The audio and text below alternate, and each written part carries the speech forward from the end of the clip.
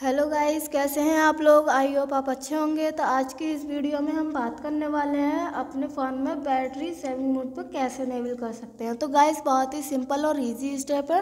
Video की जानकारी के लिए वीडियो को लास्ट तक ज़रूर देखना है गाइस ताकि आपकी समझ में आए।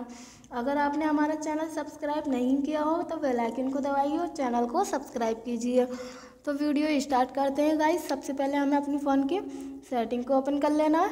सेटिंग ओपन करने के बाद यहाँ पे हमें ऑप्शन देखने को मिलते हैं कई सारे गाइस। यहाँ पे हमें एक ऑप्शन देखने को मिलता है बैटरी।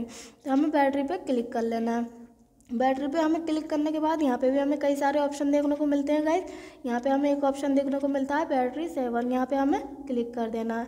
क्लिक करने के बाद यहाँ पे भी हमें कई सारे ऑप्शन देखने को मिलेंगे गाइज़ यहाँ पे हमें एक ऑप्शन देखने को मिलता है यूज़ बैटरी सेवन यहाँ पर हमें ओके कर देना।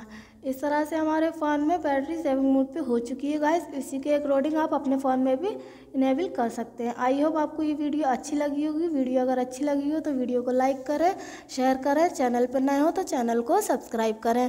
मिलते हैं अगली नेक्स्ट इंटरेस्ट वीडियो में। तब तक के लिए बाय एंड टेक केयर